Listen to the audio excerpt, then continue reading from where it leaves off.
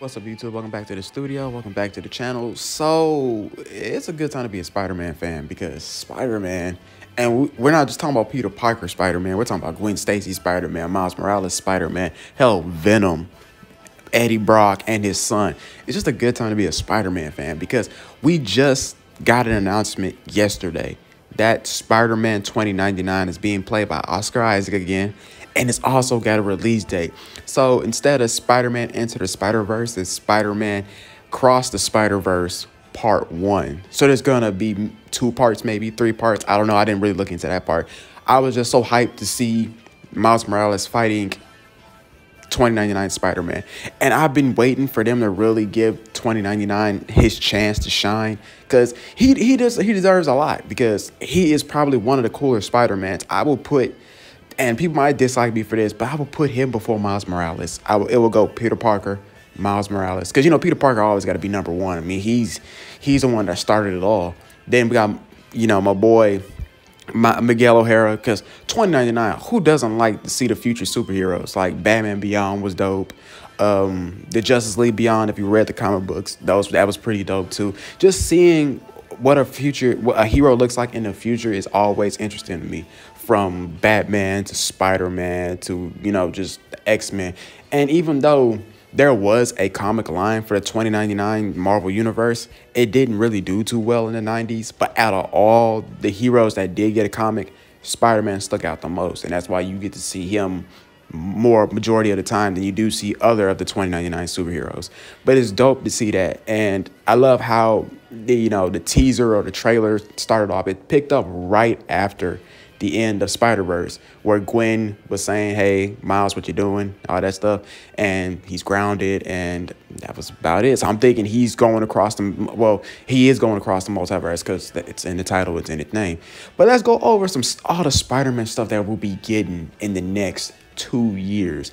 So, and we're in the month of December right now, and Far From Home is no way, not Far From Home, No Way Home is coming out. And man, that is just a Spider-Man fan's just wet dream. We're getting Electro, we're getting Doc Ock, we're getting Green Goblin, we're getting Sandman, we're getting the Lizard. We don't know who the sixth person is, the sixth um, villain, part of the Sinister Six. So Sony can cool cool their jets with the whole, you know, Sinister Six movie because it, won't make, it makes no sense if Spider-Man's not there. So they can do it with Disney. And I don't know who the sixth villain is, but I'm taking a wild guess it might be Vulture because, you know, Vulture has popped up countless times. Well, I wouldn't say countless times. He did pop up in the first movie because he was the main villain, Michael Keaton.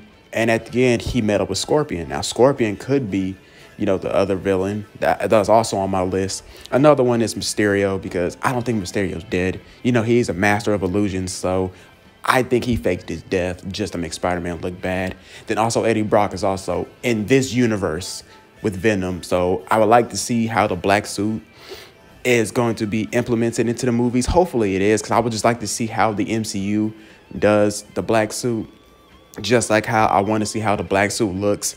And my next topic that's coming up after this one.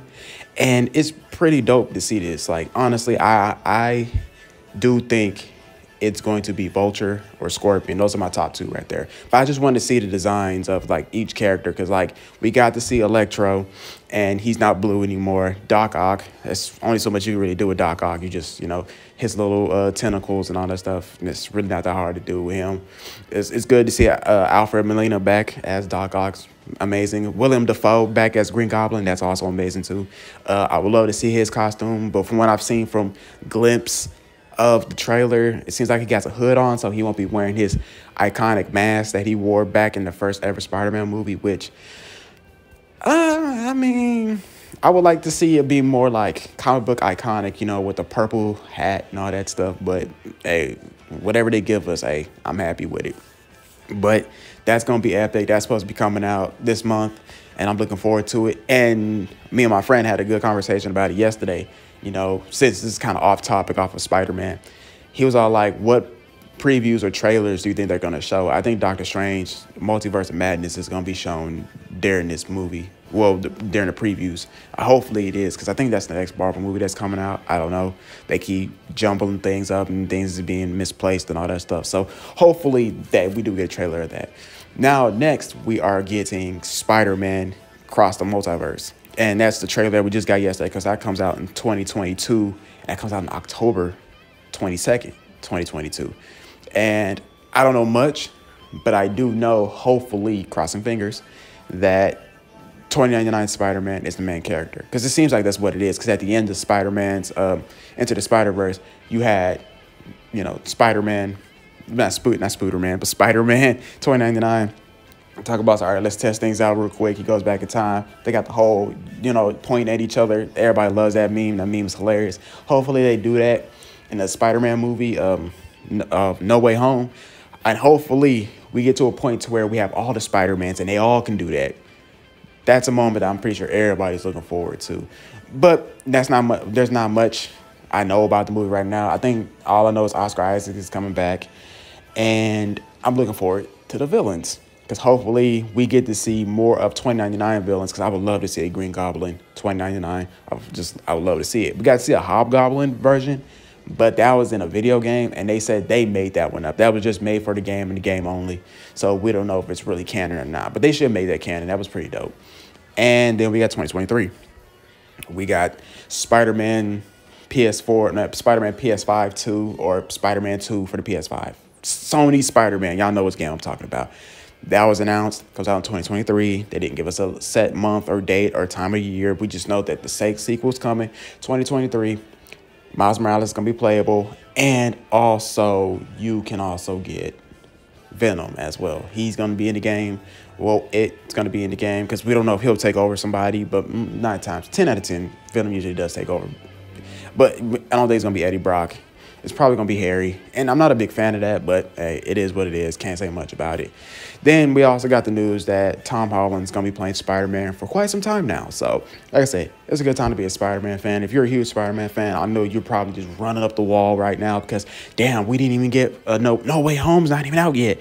And we're already getting Spider Man across the multiverse. That's going to be a good ass movie. Now, if you're not a big fan of live action movies and you're more into animated movies, then you get to take this is this is your day to eat. Y'all eating good today.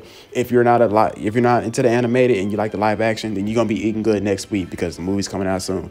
And if you just love Spider-Man altogether and don't care how you get your da daily dose of Spider-Man, and this is your way of getting it, then hey, by all means, I'm thumbs up to you as well. But that's all I got for y'all. I'm very happy to see this.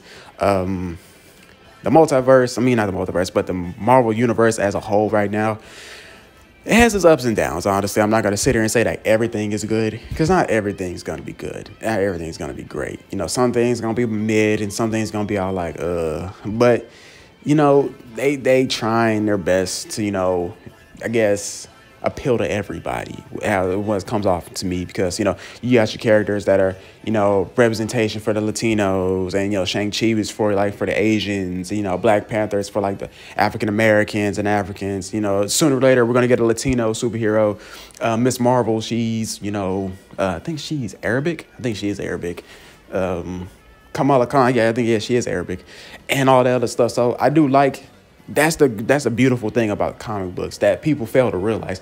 Everybody's worried about, oh, why you make a certain hero gay and da da da da. It's like their gender and their their gender or their sexual orientation or what they want to be called and all that stuff really doesn't make the hero. What makes the hero is the how they act as a hero. Are they doing heroic deeds? What makes their character who they are? Yeah, you could like. Yeah, you can be gay and all that stuff, but that's cool and all. But I'm like is that all you got? There's got to be more to your character than just oh I'm gay. Like nah, there's got to be more to the character, and that's that's one of the beautiful things we like about Spider-Man because there's so much about Spider-Man that we love about him. It's just not oh he has powers of a spider. He has these jokes. He has these quips. He's he's smart. He's all these things. He's a relatable character to a lot of people, just like how Kamala Khan could be, you know, a relatable character, or um, Alan Scott, you know, the first Green Lantern, he's homosexual. You know, he, people can relate to him. So each hero, you can relate to somebody. So, you know, MCU is trying to do that. And I think DC is trying to do the same thing as well. So I give them their props that they're really trying new things out. And with the animated and live action movies too as well. So hopefully with these live action movies doing how they're doing and how the animated movies are, are doing so well, hopefully we can get more live action and well not live action, but animated movies as well. So we'll just have to sit back and wait and see. But other than that, guys, that's all I got for y'all. I know I ain't made no videos in a while. I'm still working on these best, my, my top five games of 2020, 2021, my bad. And so on and so forth. So, but other than that, guys, I love y'all. Take care of yourselves. Um, also, also, I will go back to streaming on Sundays. Not today because I'm a little bit busy, but after the, I think the 12th, my next stream will probably be that Monday, so the 13th, but I'm going back to streaming on Sundays. But other than that, guys, I love y'all. Take care of yourselves. Peace.